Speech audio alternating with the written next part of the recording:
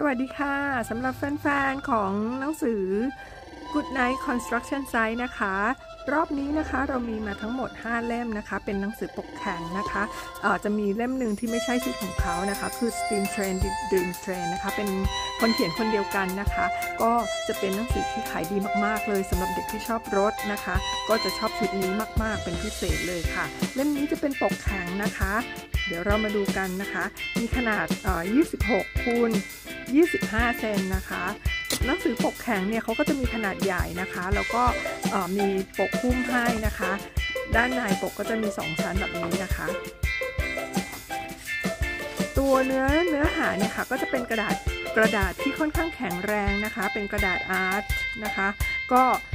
ไม่ได้ไม่ได้บางๆนะคะ ก็มีความหนาพอสมควรเลยค่ะ ด้านในค่ะก็จะเป็นเนื้อเรื่องเกี่ยวกับ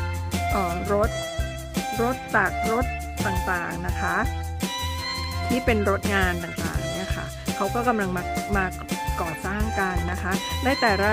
ตอนของเขาเนี่ยก็จะมีเรื่องราวแตกต่างกันออกไปนะคะ